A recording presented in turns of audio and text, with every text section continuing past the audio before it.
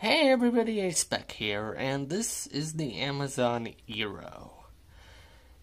It is basically a device you use in place of your traditional router. It creates its own Wi-Fi network, and then you can join it with other devices. If you've ever heard the term mesh Wi-Fi network, this is what this is. It's a multi-device Wi-Fi system where because we have such terrible internet, or we used to have such terrible internet at my grandma and grandpa's house, we chose to try to use this because we thought it would help.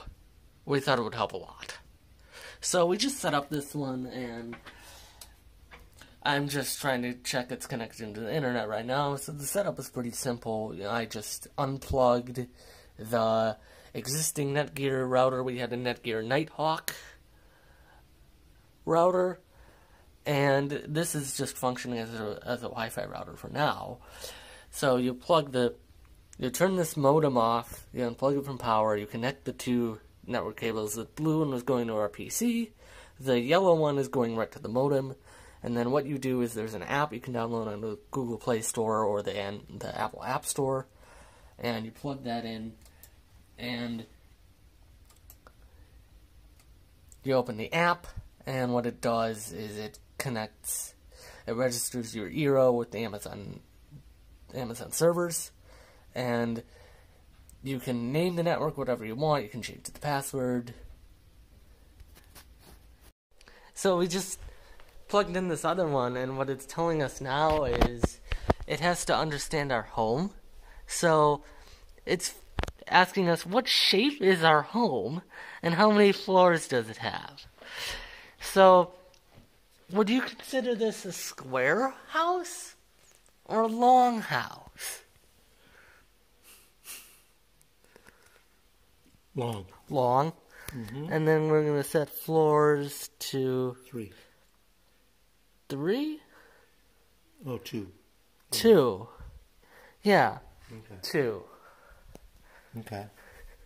Alright, so now we're gonna hit next on this, and if I if we have a dead spot, try to place our Eero devices between the dead spot and another Eero device. So it's telling us we need to distribute our Evo, Eero devices pretty evenly. Mhm. And let's go to the next tip. Should we go plug the other one in too? Place your devices up in the open, out in the open, upright, and on hard surfaces to maximize Wi-Fi performance.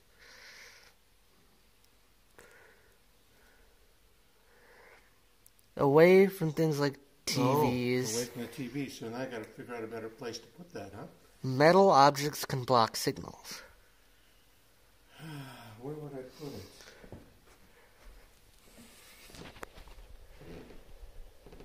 Alright, we just found a new location Or for it. on here. Uh, I don't know. No. The the cable would have to go all the way across there, Yeah, which would and be then kind well, of. I, I'd have to hook it up to the um, power strip. The power Or you could hook it the, to the Yeah, power the strip. Power strip is. Um, I don't have any power in this one. So we need to hit next in the app before we put our third one in. Okay. So next, and it's looking for. Mm, so based on the maximum of the first one, it sort of takes a while to do this. So Yeah, we could put it in right. I'll just. Make sure her telephone or her TV gets good. No, we could do that actually. Yeah. Could put our third one in grandma's. Yeah, put a third, and I I can get another one put upstairs later.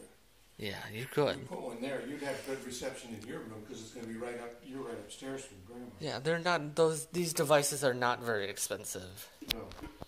No. What did we pay for our one one? Uh, fifty dollars, I think they are. All right, they're now they're gonna do a test where it's looking for. Oh wait,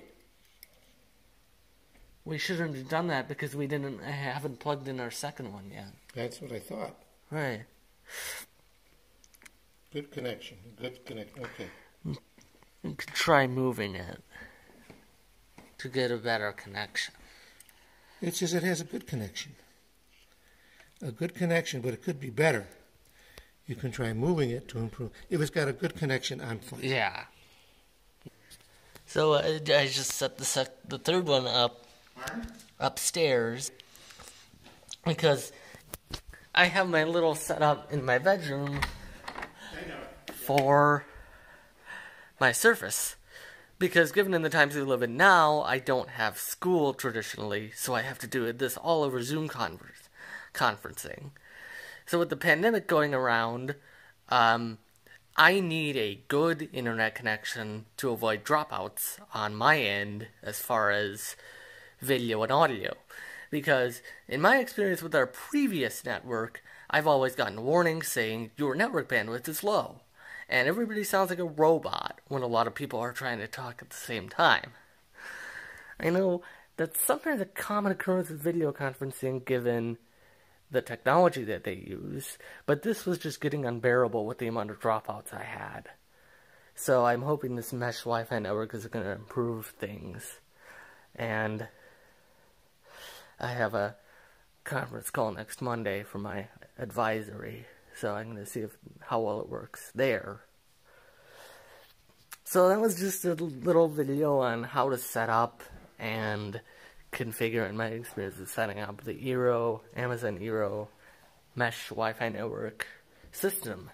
If you have any questions about the system or anything else you'd like me to review, just drop me a drop me a comment. And this is A-Spec signing out.